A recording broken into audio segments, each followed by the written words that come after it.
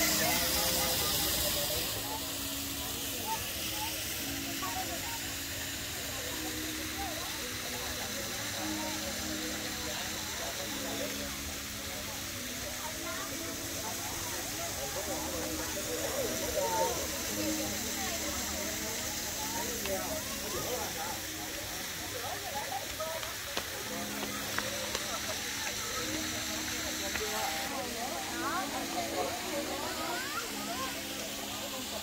Đi